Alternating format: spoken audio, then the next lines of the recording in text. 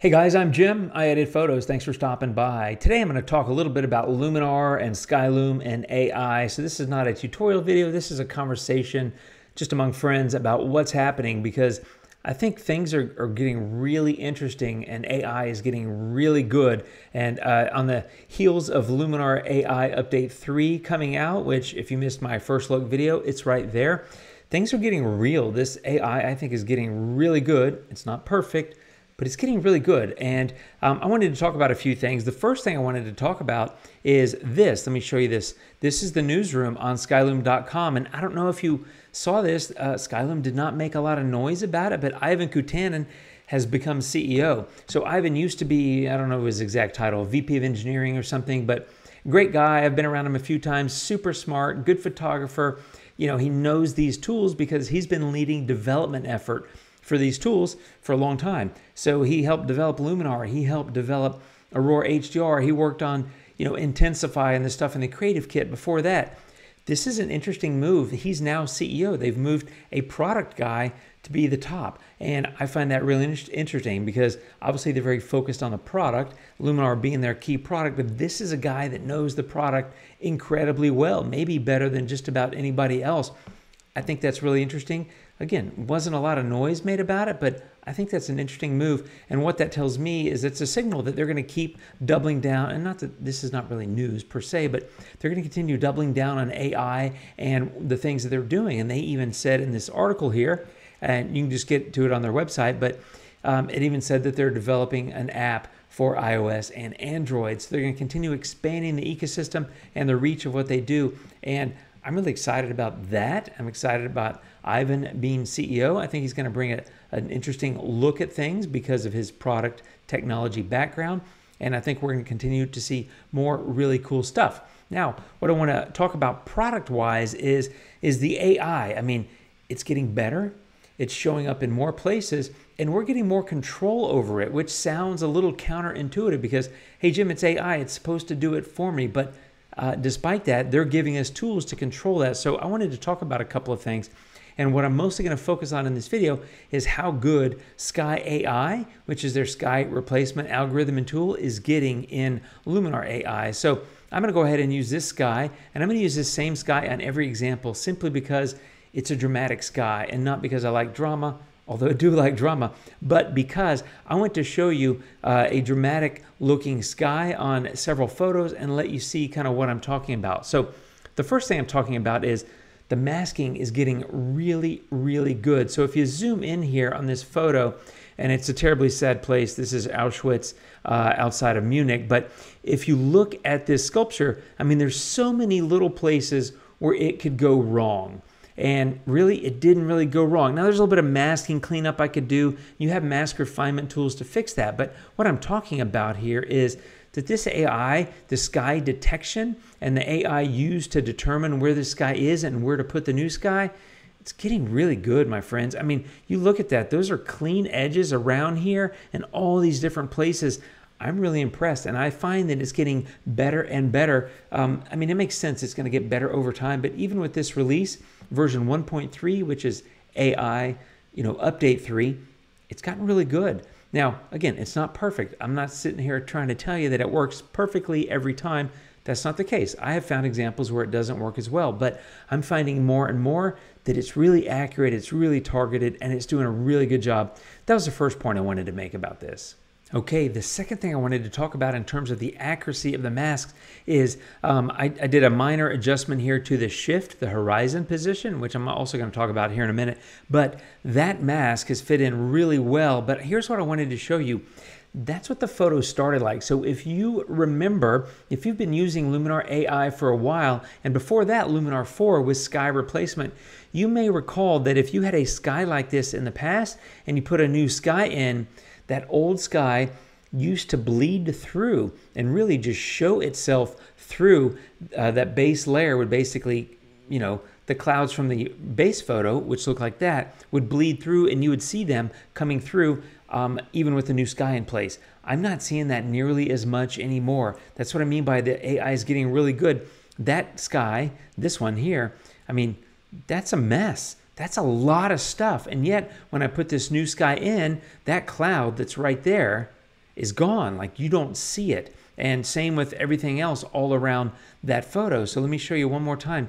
I mean, take a look around, look at all these different clouds, all these cloud patterns, the texture, the shape, all that kind of stuff. There's a lot going on in that sky. And in previous versions of Luminar, whether it's four or earlier iterations of Luminar AI, I would not choose to replace that sky because it would not look very good. And yet now, boom, new sky. The mask along the horizon is fantastic and that's just looking really good. So that's what I mean. The AI is getting really good, and the algorithm and the machine learning and all these things that you hear, all these terms that none of us probably really understand that well. Whatever it is they're doing, this little magic stuff, it's working. Okay, here's the next thing I want to talk about. Once again, here's the original sky, which was completely nothing, and now the new sky, same sky I've been using, again, for dramatic effect, just to point it out because it's so easy to see because it's such an intense sky. But I started with that, I added this sky, and all I did is I did a shift position here just to lower it a little bit. But here's what I want to talk about, and this is where I mean that the AI is showing up in more places. If you go down here, you have this relight strength, right? So the relight strength is really starting to come in handy because in the past I used to have to go in and do a whole lot of gyrations and maneuvers and I've got videos about this where I use all these tools and filters to get the bottom of the photo looking like the sky in terms of color match. I don't have to do that as much anymore because relight strength and these kind of things, relight saturation, are getting better. But also notice this as I drag this relight strength, um, you can see the tones changing and it's getting to more closely match the sky. But Here's one thing I want to point out.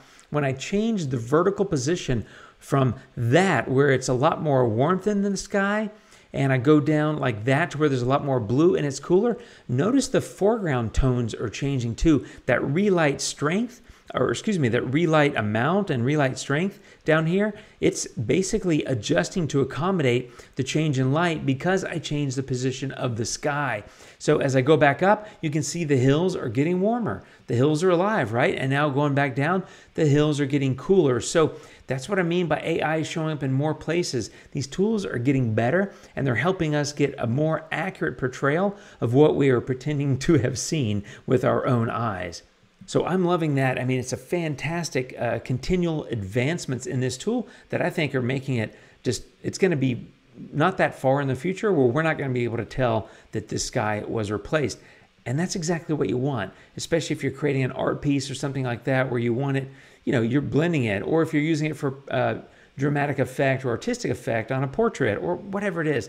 Everybody uses it for different reasons, but the point is the AI is getting really good. It's showing up in more places, and that's really helping us out quite a bit. So I'm really happy about that. And I got one more example to talk about. And here we go. Here is this photo. And this is once again just going to be the same sky. Um, and what I want to talk about here is really a combination of a couple of things I've talked about plus one more. The first thing I talked about was the AI is getting better. The masking is better. Take a look at this. Let me uh, let me zoom in. Let me go to two uh, 300 well 300 why not? Look at that that sky is coming in in between all these like little turrets or whatever they are. If i turn this off you can see gray sky underneath. Turn it back on you can see sunlight a streak of sunlight in that sky coming through that hole there. So the masking is getting better the ai is getting better and more intelligent.